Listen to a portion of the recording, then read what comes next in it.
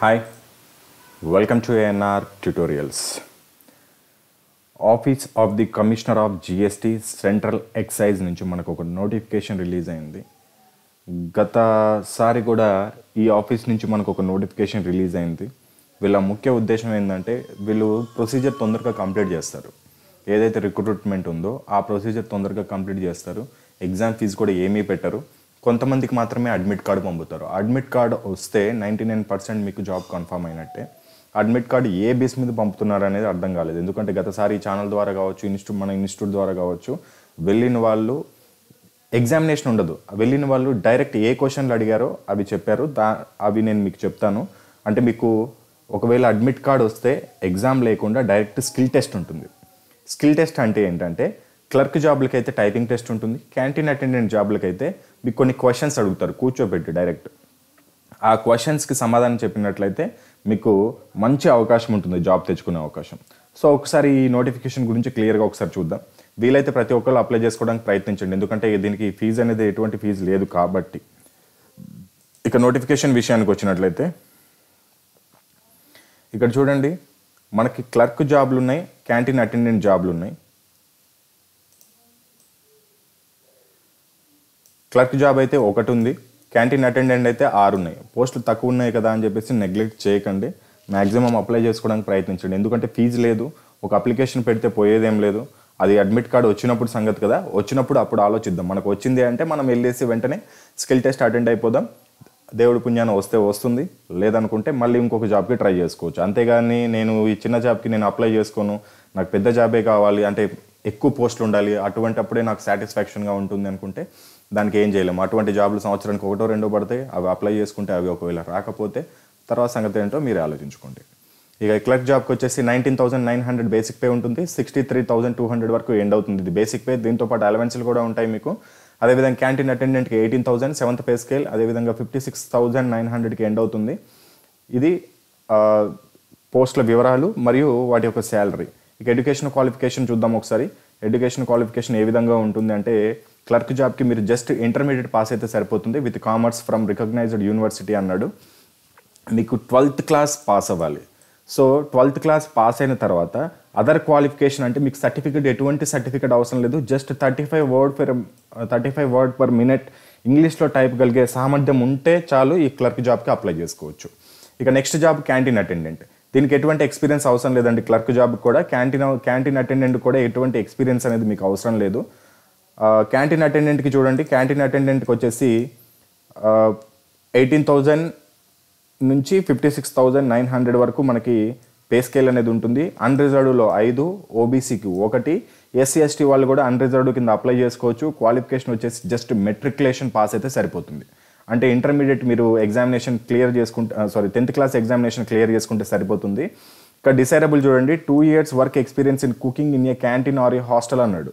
ఇది అసలు అవసరమే లేదు. ఎందుకంటే ఇక్కడ ఎసెన్షియల్లో ఇస్తే మనకు అవసరం అని డిసైరబుల్లో ఇస్తే అవసరం లేదు. ఒకవేళ ఉంటే మంచిది లేకపోయినా పర్లేదు అని అర్థం. నేను ఆల్రెడీ చెప్తున్నాను ఎసెన్షియల్కి డిసైరబుల్కి మీరు మీనింగ్ తెలుసుకుంటే మీకు ఎటువంటి ఇటువంటి నోటిఫికేషన్లు వచ్చినప్పుడు ఒకవేళ ఎక్స్పీరియన్స్ అనేది డిజైరబుల్లో ఇచ్చాడు అనుకోండి మీరు ఖచ్చితంగా వాటికి అప్లై చేసుకోవాలి. ఏజ్ లిమిట్ వచ్చేసి పద్దెనిమిది నుంచి ఇరవై ఐదు సంవత్సరాల లోపల ఓసీ వాళ్ళకైతే ఓసీ వాళ్ళకైతే పద్దెనిమిది నుంచి ఇరవై ఐదు సంవత్సరాల లోపల ఉండాలి.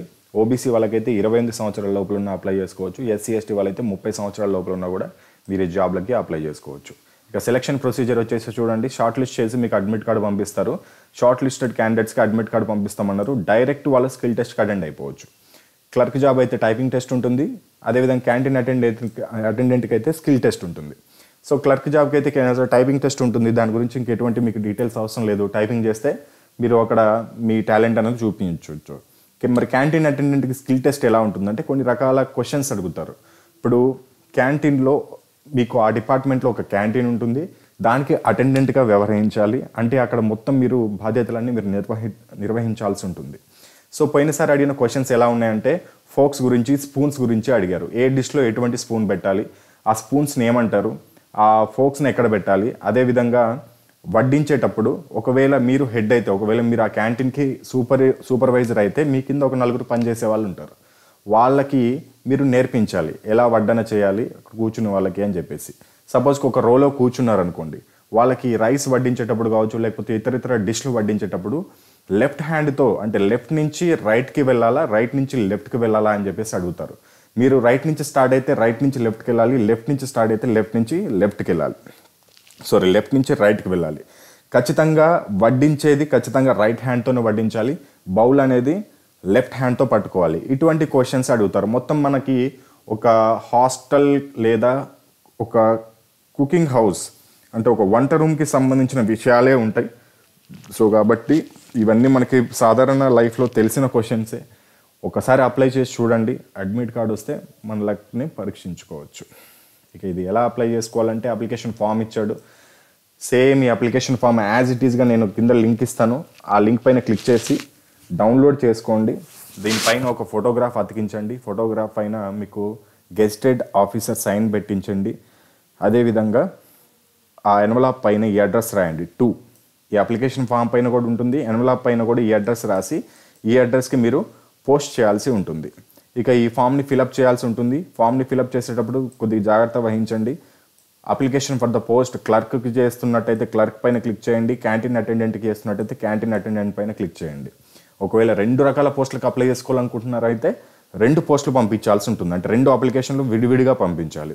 ఇక మీ name date of birth education qualification experience ఏమైనా ఉంటే ఎక్స్పీరియన్స్ అదేవిధంగా contact details Aadhaar card number అదేవిధంగా మీ certificates tenth intermediate caste certificate date of birth certificate Aadhaar card xerox అదేవిధంగా మీ దగ్గర ఇంకేమైనా సర్టిఫికెట్లు ఉంటే అవన్నీ జిరాక్స్లు ఈ అప్లికేషన్ ఫామ్కి జత చేసి రెండు ఎక్స్ట్రా ఫొటోస్ కూడా ఈ అప్లికేషన్ ఫామ్కి పిన్ కొట్టి పంపించండి. పంపించేటప్పుడు పైన ఖచ్చితంగా ఎన్వలప్ పైన మీరు మెన్షన్ చేయాల్సి ఏం మెన్షన్ చేయాలంటే application for the post of clerk అయితే క్లర్క్ క్యాంటీన్ క్యాంటీన్ అటెండెంట్ అయితే క్యాంటీన్ అటెండెంట్ అని మీరు రాసి పంపించాలి. ఇక ఎన్వలాప్లో ఆల్రెడీ అడ్రస్ చెప్పాను. పైన ఉన్న అడ్రస్కి పంపించేసేయండి. ఇక్కడ సిగ్నేచర్ మీ సిగ్నేచర్ పెట్టండి మీ నేమ్ రాయండి. మీరు ఎక్కడి నుంచి పంపుతున్నారు ఆ ప్లేస్ అదేవిధంగా డేట్ ఇవి ఫిలప్ చేసుకొని మీరు పోస్ట్ చేసేస్తే అడ్మిట్ కార్డ్ వచ్చే వరకు మనం వెయిట్ చేయొచ్చు. ఇంకా దీని గురించి మీకు ఏదైనా డౌట్స్ ఉంటే కింద కమెంట్ సెక్షన్లో అడగండి. మాక్సిమం అందరికీ రిప్లై అవ్వడానికి ప్రయత్నిస్తున్నాను ఆల్ ద బెస్ట్ జై హింద్.